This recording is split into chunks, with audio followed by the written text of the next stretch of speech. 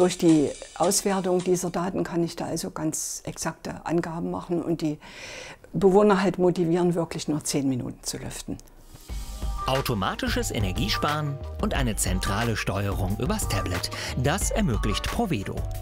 Heizung, Beleuchtung, Verschattung, Sicherheit. Das System deckt alles ab. Gerade in größeren Wohngebäuden, wie hier im Mehrgenerationenhaus Lebenszeit in Jena, entlastet Provedo so die Bewohner und deren Geldbeutel. Denn mit dem intelligenten System lässt sich viel Energie einsparen. Alleine bei den Heizkosten beträgt das Reduzierungspotenzial 32 Prozent. Nicht alle Menschen in dem Haus, das Mandy Oberländer leitet, sind so technikaffin. Doch auch für sie hält Provedo Lösungen bereit. Ansonsten läuft das ja eigentlich automatisiert und ist sehr bewohnerfreundlich und altersgerecht.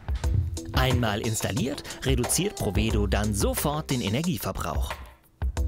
Wir haben die Möglichkeit, unsere Daten aus den einzelnen Zimmern in den Keller zu liefern und dort am Vorregelkreis das Heizungssystem zu regulieren. Also es wird gar nicht erst Energie erzeugt, die im Haus rumgeschickt wird. Eine wegweisende Idee mit großem Potenzial. Wenn Sie sich überlegen, dass man bis zu 30 Prozent Energie sparen kann und das in allen Wohnungen, die automatisiert sind, dann kann man schon einiges an Energie, an CO2 und natürlich an Geld sparen.